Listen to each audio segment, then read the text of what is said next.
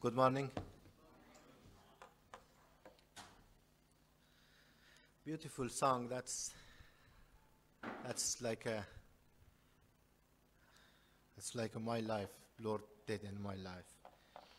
And thank you for uh, opportunity that uh, elders give me to share today my testimony after nine years. I remember nine years ago I, I came here to, to this church and to Australia actually. And your church invited me to come here to this to Brisbane. And I'm thankful to the Lord that God give me faithful family and brothers and sisters. Uh, my uh, I'm really not feeling that my cousins or my brothers or my mom are not here because God gave me that here. And today I am here to share about my, my life, about the journey that God, uh, how He came to my life. And as a Kevin can't go to uh, Myanmar or, or he can't send the books. God, send, God used anything for His glory anywhere, even Quran. Quran was for, for people to be a convert to the to to Muslim to be Muslim, but sometimes God used that book also for uh, um, to people know the truth and, and know Him and come from darkness to the light. I about 52 years ago, I was born in a Muslim family. And since I was seven or eight years old, that came to my mind up to, to uh, think about God. Who is God? Actually, my, I was practice uh, Muslim because of my father and my grandfather. Always I was behind my grandfather and I pray like him. They didn't know what I, am seeing, what uh, just I, I copy him when he uh, pray like a, as a Muslim, and I did that. Then I start to ask about God. Who is God? Where is God? Why we can't see God physically? Always, uh, the elders told me, grandfather and the, the others, uh, God is in heaven, in, in, in, in the sky, and He is very far from us. But if we do good, He will be good with us. If we do bad, like uh, He punishes us. And, and that's, that's like a, that's normal. And always uh, I feel fear from God. Oh, if I do this, God will punish me. That wasn't love and uh, obeying and, and faithful to him. But slowly, slowly, I start to read the uh, when I I start uh, when I learned reading how to read the books after I went to school and then uh, I read the books and then the Red Army came to Afghanistan. If you people remember that time in 1978, uh, communist people come to by they by martial law they take over the government and then they invite Red Army to Afghanistan after six seven months. And uh, Afghan people start to fight against the Red Army, and that war continually, still that's 44 years, and that war is not not end. It's sadly, but God work in life of people like me and like now in hundreds of Afghan brothers and sisters around the world and inside of Afghanistan. And that's really encouraging for me. 30 years ago, it was really difficult to people say, oh, we are Christian. We are Christian. We convert. We came from Islam to Christian. But God, he's, he's not weak. Our God is not weak and not, not sleep and not far from us. He work on the heart of people and people change. He changed the people. And, and I'm one of them when I search about God, he said, okay, I'm coming to, if you like me, I want to come. As a, uh, God said, I'm standing behind the door and, and knocking. Kevin said, the door had a one handle, not two, last week. And that's true.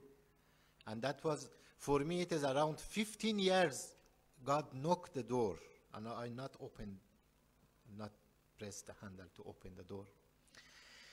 Yeah, any, when the Red Army came to Afghanistan, Afghan people start to fight against them. And when I finished high school,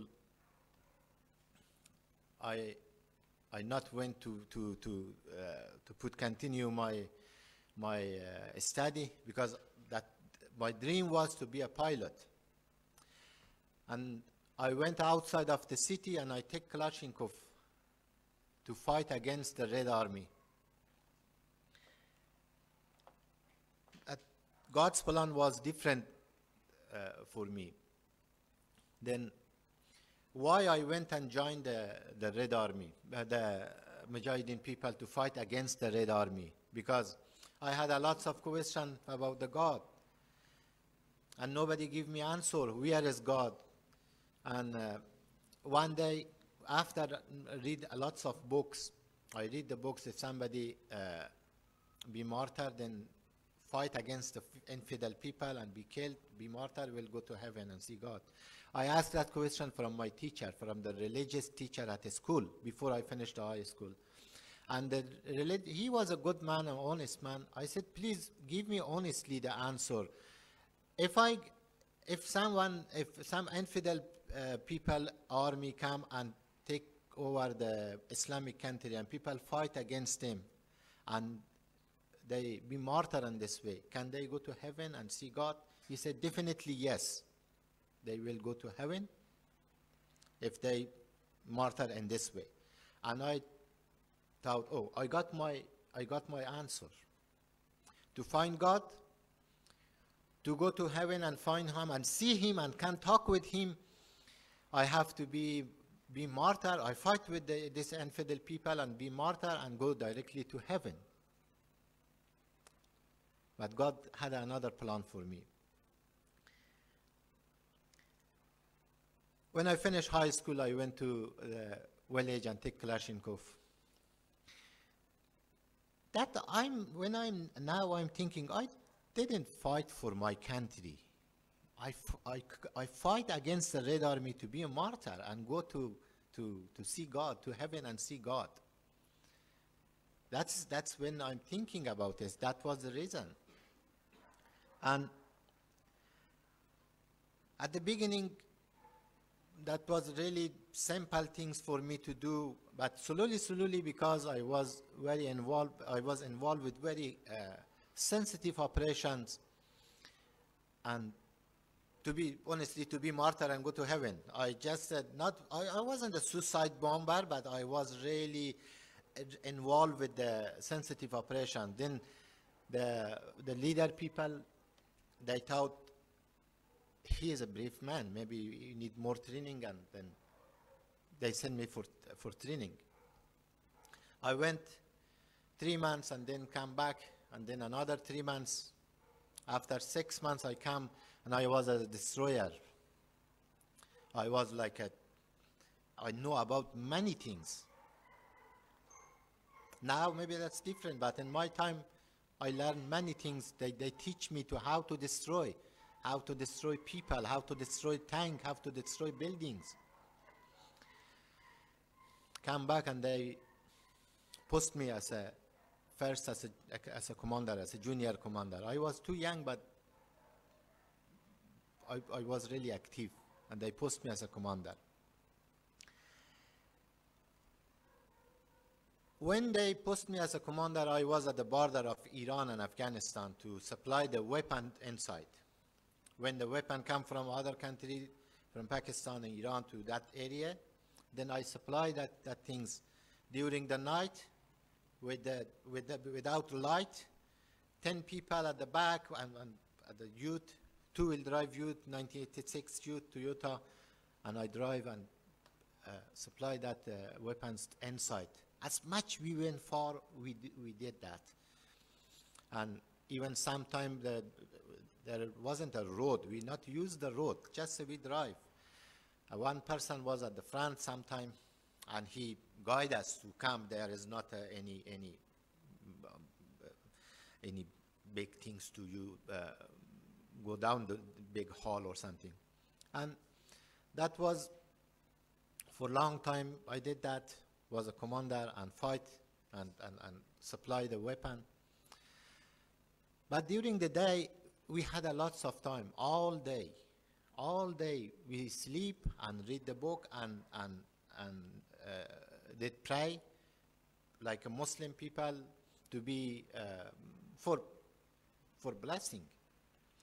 And my blessing was that time to read the Quran, the holy book of Muslim friend. I read Quran one time, twice, and third time. After three times, Quran is a big book. After three times I read the Quran,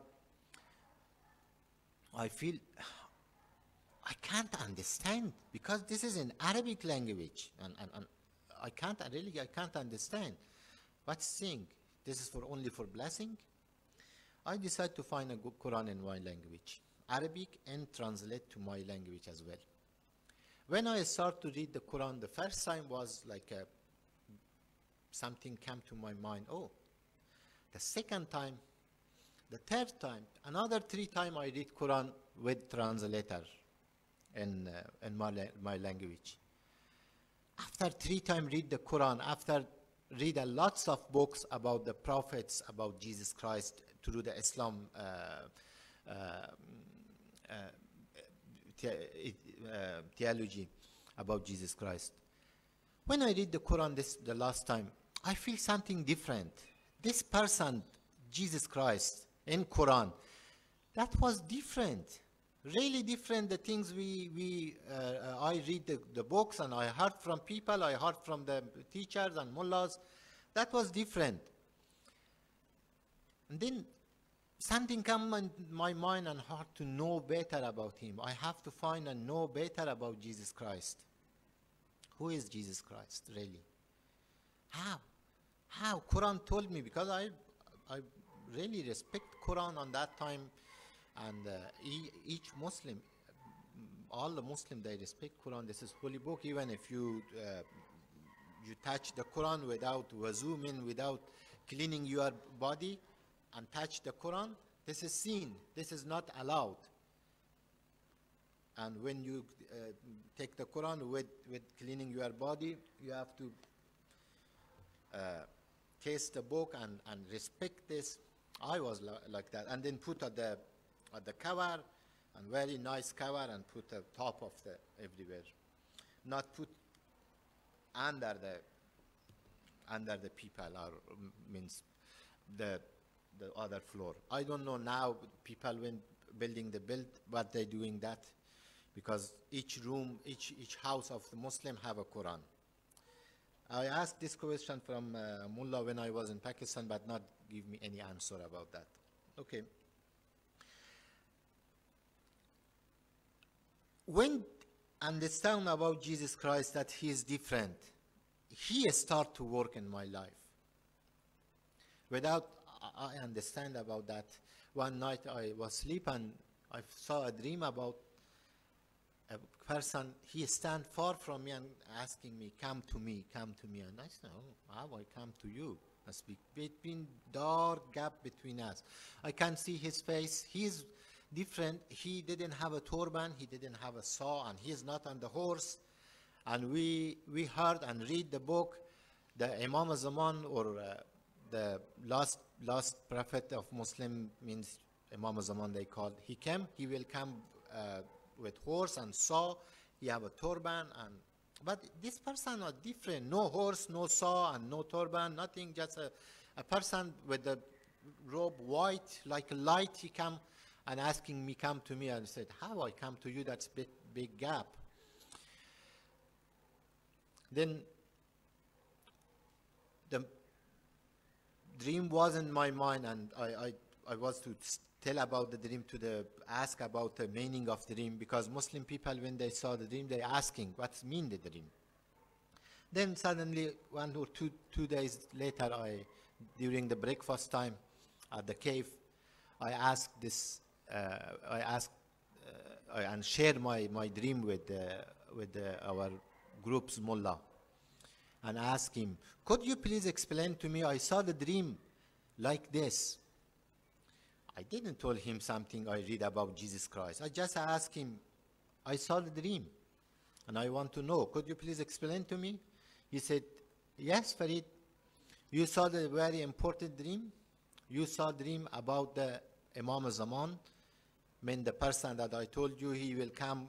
He is now he is disappeared, but God will bring him one day, and he will come with the saw and turban and and and at the top of horse, and then he bring all justice on the world. He said, you see dream about that person, and you will be, it, this is very blessing, and you will be martyr very soon. When he say you will be martyr very soon, for long time I tried to be martyr and go to heaven. I thought, I don't want to die. that's, that's really uh, was difficult for me. And say, oh, I don't want to die. Because when I uh, start to understand about Jesus Christ and Jesus Christ and Holy Spirit start to work on me, He brings some changes on me. But because I was a commander, it was very shame to, to say, oh, I don't want to die. If you are commander, you have to breathe. You have to be encouraged for others. If they want to die, you have to, okay, go.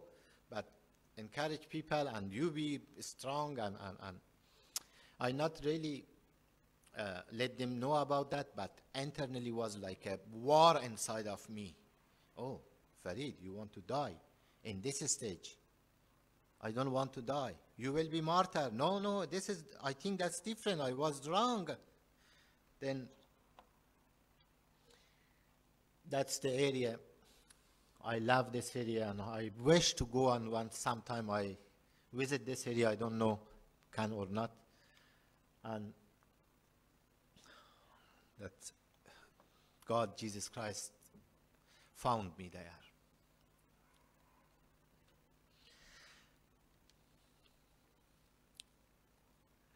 Was war inside of me. I really can't explain about that time, about that, that feeling. And then the real, another physical war was big, strong attack from government at the top of our area, in this area, to take over this area. About 25 people of my group, my friend and around me, they will die that day. And these people, yeah, only two people of them are die, uh, are alive, three people and one be sit beside me. The left side, he died. The three stand, they die. The middle one with the green uh, jacket, he is alive. He is very old now. I heard. The other one, he is he is alive, but he is he is cancer and in the last stage. The when uh, in 2020 I went to Iran, uh, I I visit him, and yeah, yeah, all the all these people are die. Just uh, Farid is here, and Farid was a person was at the the the, the the first line to be martyr and go to heaven. But God's plan is different. Uh, Sometimes I'm thinking why I'm alive, then suddenly coming the answer automatically coming to me, yes, you know why you are alive. Because that was God's plan to me. And one of my friend was behind of the machine gun, he died he killed, he, he, was killed, and then I took his dead body and I sit behind the machine gun and uh, start to fight. But after that, me and the machine gun, after some, some, some few minutes, we blew up and uh, crashed down. And when I opened my eyes, I was at hospital, cross border in Iran. And that was the time for my decision, really. But when I was in hospital, people come to me and said, Farid, we saw you crash down from the other side of the mount, and we saw you crash down, but how you came up? Because we found you at the up the top of the hill, the place you down. I said, I don't know really about that. That was amazing for them when I told them, look, some of you are alive and you know I share about the dream with you. Some days before, I saw the same person when I was crashed down, when I crashed down. I saw the same person. And people didn't believe and some of them say, oh, that's poor Farid, he lost his mind. Some people laugh on me and make a joke, but doesn't matter for me. It was clear for me. It is clear for me. Then, because I wasn't really uh, serious injured, the senior commander came to me and said, Farid, we want you to go back to the field. We need you to go back to field. There is still the war is uh, continuing, we need you to go there. I said, I don't want to go. He tried and he used different options to convince me to go back to the field to that area and fight. But I, I decided, I said, no, I want to go and, my, uh, and visit my family.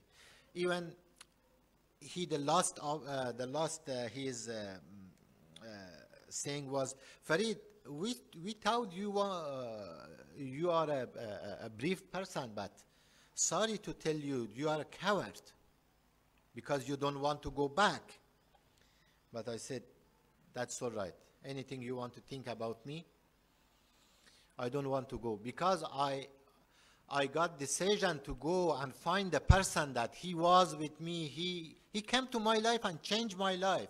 The person he tried to be martyr for many years, many time. Then after read the Quran, even he need to be more strong to be martyr. But he God changed me. I was changed person. I said, no, I want to go and, and, and see my family. Not told him I want to go and uh, search about Jesus Christ. Come back to uh, from the, uh, the hospital. I come to the big city that my family were there in Iran as a refugee. They, that time uh, they were as a refugee. I went to the house. Mom was happy. Father was happy. Brothers, and everyone was very. They were very happy, but I wasn't happy. Every day I went to shrine. There is a big shrine and very important shrine for the for the Shia people. I spent hours there and crying and crying and crying and said, "Where are you, God? I can't find you. I don't know really. I lost my way. I don't know what should I do." I was young, about 21, 22 years old, and I said, I lost everything. One day on that shrine, again, something came in my mind. Go and ask from Christian people. Christian, because Christian people know about Jesus Christ, about Isa, son of Mary. In my language, we call Isa. Then I say, oh, I know about the church. There is a church. I know the church was with the big cross there. Uh, I think was Armenian church. Same day I went to that church. I knocked the door. I knocked the door. They opened the small, small door on the big door. What's name in English? I don't know. They open and say, what do you want? I said, I want to know about Jesus Christ. Who is Jesus Christ? Could you please explain to me? The guy asked me, Are you a Muslim or Christian? I said, Alhamdulillah, I'm a Muslim, but I want to know about Jesus Christ. He said, That's too dangerous, go away. Close the door again. I knock. Five times. Five times, after five times, I, I really uh, uh, was really, uh, what's calling in English? Have to ask. I want to know. He gave me a phone number. Said, "This is the phone number. We don't know if he, this person can help you or not." I take the, the phone number and went to the, the phone booth. On that time, I ring. A guy, a brother, was there. When I explained to him, he asked what what happened. I know. I told him I want to know about Jesus Christ. He really with kindness invite me to his house. I went to his house. He was a person about 20, 20 years older than me. About on that time he was about 40, 45 years old and he was very kind, very gentle and he asked me to come, respect me.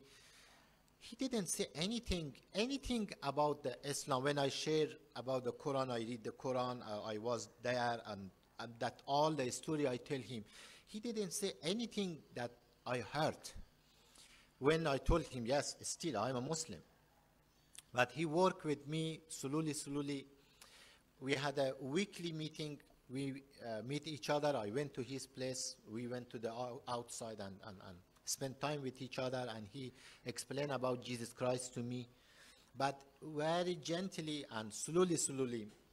But still, because I was very strong, strong Muslim, I, I, I, I still believe Jesus Christ is a good person, like a good prophet, major prophet, and uh, and yes, but he is under the Muhammad. Muhammad is mu- mu- much more higher than Jesus Christ. That was in my mind still. Then, uh, after I think after six months, they had a the, we we had a group and. Uh, uh, they invite a person as a as a guest. He, the person came to share the message there that night on the group, and he was like a charismatic person. He was right. I was wrong. He came and he, but the, the way that he used for me was a bit difficult. A bit maybe wasn't right on that time. He said, "Jesus Christ, Son of God. Jesus Christ, God." When he said Jesus Christ, Son of God, I immediately stand and said, when God get married to have a baby, but when he said, no, this is, I'm not saying this, he, they tried to explain to me and convince to me, I said, no. I did a part of Quran that God not had any partner or that's in Arabic. I said, no, you are not good people. I have to, uh, uh, no, I can't come and have a relation with you. I, I, uh, I really have a doubt about you because you're bringing a partner when God get married.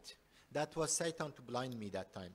Then I stopped fellowship with them. Then I find a way to go to Dubai for work. I went to Dubai and find some, after some month, I found a job and then found uh, some Christian people because Jesus Christ was inside of me. He worked on me and he not leave me alone. And uh, I, I meet some Indian Christian people from India. They said we are Christian. We had a worship each Friday, and uh, then after the uh, worship, went to the to the bar and start dancing and start drinking and like a, like a other people. One day that was a question for me, and uh, that question was why we are Christian, we worshiping the God here, the Lord here, and then going to the bar and drinking and, and doing the things even some of you, I know you have a relation with the other woman. Then uh, the guy told me, Farid, we belonging to the God's family. We can't do anything and then repent because Jesus Christ crucified for us. I said, it is repeat and repeat. We can do repeat and repeat or one time. He said, no, any time we can do and then uh, we can repent. He said, your God must be wrong. If your God teach you like this, I can't, I don't want to follow that God. And that meeting with that people, they took me away for around 15, 14 to 15 years away from God. But I was unfaithful. I closed the door. But faithfully, Jesus Christ was behind the door and he knocked the door to open and asked me, time to time, asked me, open the door.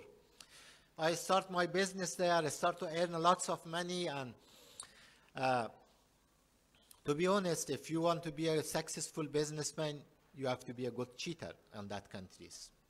I was one of them. And I told to Jesus Christ, I love you, I know you are right, but I can't follow you. I can't follow you because if I want to follow you, I have to lift many things behind. And I wasn't, maybe I, I can't be a successful businessman. But Jesus Christ faithfully worked on me. I went back to Afghanistan, Iran, and Pakistan. I met Prila, had my business. I met Prila. I went and asked Prilas from the family, uh, Yeah, they said yes. They asked me what was what's your religion. I said I was Shia, because Prila's family was Sunni, and they thought, okay, he was Shia, he is a he is a Sunni now. They were happy. They said yes. We went back after the first time Taliban gone. We went back to Afghanistan, and I found uh, a job in UNHCR to work there as a guest house manager. But uh, there was God sent another person to to my life. A lady was a Christian lady was worked there, but I thought all the. Uh, one day I asked her, "Who are you? Why you are different than the other people?" Then she said, "Farid, I'm a Christian." I said, "Look, these all people are white from America, Germany, Australia, Canada, and any everywhere. They are from Western country, but they are all Christian." Then she explained to me, "No, they are not Christian." Then she explained, and I think she was a God, uh, God plan to my life. Then I, one day I was read my Bible, Matthew chapter 10, verse 32 and 33. And I repent on that day because when I, uh, when I read the, the Bible and Jesus Christ said, uh, Matthew chapter 10, verse 32. Uh, whoever acknowledge me before men, I will also acknowledge acknowledge him before my Father in heaven. But whoever dis, uh, whoever disown me before men, I will disown him uh, before my Father in heaven. Then I thought, oh, I'm a big loser. I was silent Christian. I had a fellowship with Christian that time, but I was silent. That day, when I read this words, two words of the my Bible at my office, I bow down and I start to crying for hours and crying and said, God, please forgive me. And that day I feel how I'm a, a sinful person, how how really I'm a bad person. I was unfaithful to the Lord, to Jesus Christ, to Lord my, my Savior, and who is my Savior. And I repent that day and give my life to the Lord. Was very difficult for my family, for Perila, because she decided if I'm a Christian, she get a divorce. I had a children. I love my children, and my family. But that was God's plan. God worked 15 years in my life, worked four, five year, months in her life to change her, because she was soft. I was very hard. And God changed her as well. And then the other other story is very big to God, how He saved us to send to Pakistan. We start our ministry. We, we, we lead the church of Afghan church, Muslim background church in Pakistan. And the every doors were, when the every doors was closed for us, then God sent us to Australia. That was like a miracle. It's not easy to to people come to Australia, and somehow yes, but for me was very difficult. But God sent me to Australia, and I know why I am alive. And I promise to the Lord, Lord, tell you what I want to share about your love, about your grace, and about your truth to the people. To the people that don't know, they think they know, but they don't know really. They are the, going to the wrong way.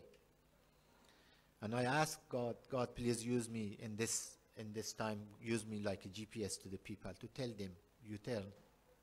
And a time was I sent bullet to the heart of people. I was a destroyer, but God changed me.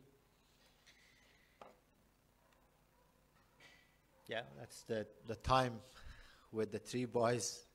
we had a motorbike, one helmet, at the Bible college that time. That was a group we had uh, street evangelize in Pakistan.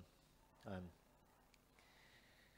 that's the time that God made me really uh, ready to, to share about Him with boldness. Not with boldness fight to be martyr, with boldness to talk about, about His mercy, about His kindness, about, about His truth to the people, and send the love bullet of Jesus Christ to the people's heart, not the, the, the, the metal bullet.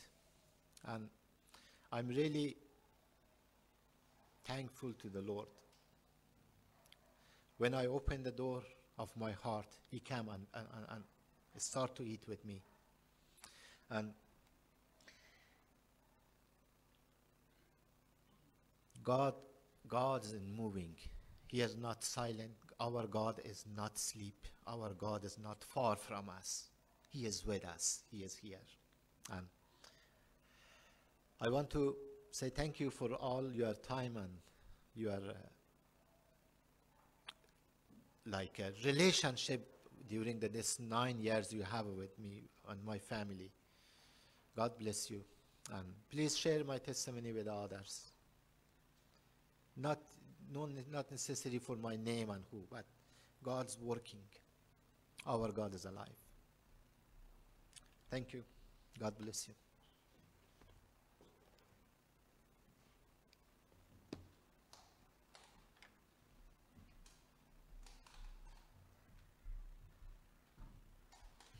Thank you, Farid. the Lord bless you and Perella and the family. Thank you for sharing with us. And um, I think we have to have the next chapter not too far in the future, okay? Because we want to hear more of this story. It's great. Praise the Lord as to how He's been working in your heart and life. Let's just uh, pause for prayer and then we'll go and have a, a cup of tea. Heavenly Father, thank you for Farid and Perilla and the family. We commend them to your grace. Thank you, Father, for the way that you have worked in their hearts and lives. Thank you for their amazing testimony. Father, work in our hearts, in our lives. Enable us to see you, to know that you're there, and to follow you. We thank you for this refreshment that you've provided for us. In Jesus' name, amen. When you hear the little bell, please come back for the worship in about 20 minutes. Thank you.